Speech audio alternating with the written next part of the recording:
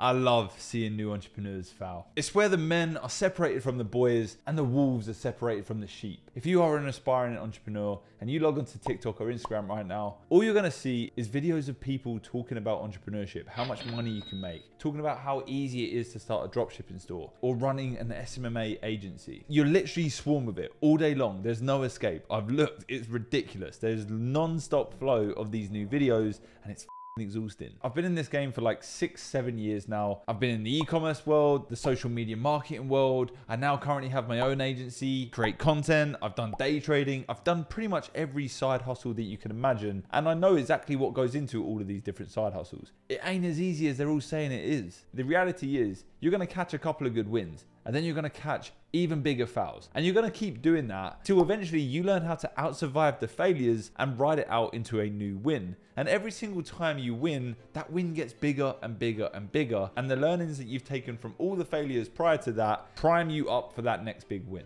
This is exactly what happened with me. My first month in entrepreneurship and e-commerce, I actually made like 30k selling moon lamps online. Did I then go on to continue and scale that up to where I am today? No. The business died after like one month and I had no clue how to bring it back to life because it was my first ever month.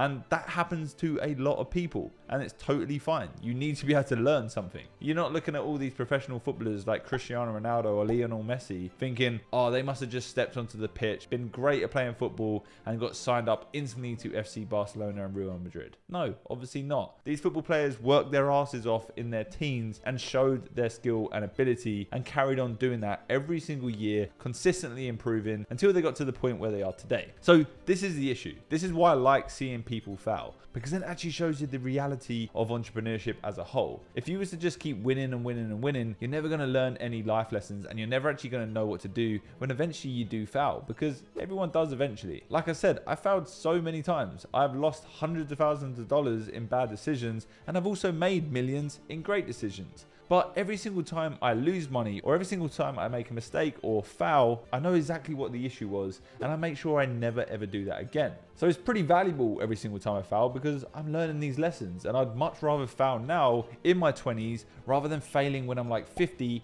have kids, a wife and a really expensive house that I need to ensure I can keep paying for. Think about it, if you're under the age of 20 right now or you're in your 20s, you are in such a good spot. You do not have to worry. You can mess up so many times in your 20s. You've got all the time in the world to make these mistakes and you should welcome that because it's going to teach you some serious lessons. So what happens when you continue to push on even after you failed? Well, you start to build up resistance and you start to build up confidence in yourself. Not only are you going to then start realizing that failure is okay and you actually learn something from it, but you're also then going to start to trust yourself to be able to recover from those failures. Now, if you was to fall over at the first hurdle and you was to then quit and be like, this isn't for me, e-commerce sucks, it doesn't work, well, that's completely your fault and you're never ever going to learn anything. But if you welcome it and you say, all right, well, look, I fucked up here. I made this mistake because I don't know anything about it. That's completely fine. And now you know how to fix that. You now need to go and learn more about that certain topic. Business is filled with limiting beliefs, and most people that I end up speaking to just have zero confidence in themselves. But if you fail and then you go on to win again, your confidence compounds and it builds and builds and builds. And this is exactly where I'm at. I'm so confident in all the businesses that I start and go into because I've failed so many times and I know exactly how everything works now. I also trust myself enough to be able to say it doesn't matter if I fail because eventually I come out on top and I win. So if you can build up that mentality, it is going to be a game changer for you. I can promise you that. All it takes is one lucky win. And I've had a few lucky wins over my years. All it is is a numbers game. You have to be playing in order to win. If you play, you get burnt and you leave, you're never going to win. So all you need to do is keep playing the game. And eventually at some point, if you keep playing, you're going to come out and win. And now I don't know how much you're going to win, but I guess that all depends on the game you're playing and how long you've been playing it. But if right now you're failing a lot, I promise you, there is a win waiting for you. Please, please, please be persistent. Do not quit. Do not stop. The only reason you're failing right now is because you do not have the experience. Every time you fail, you are building the experience that you need. So do not quit. You are just one game away from making a massive win.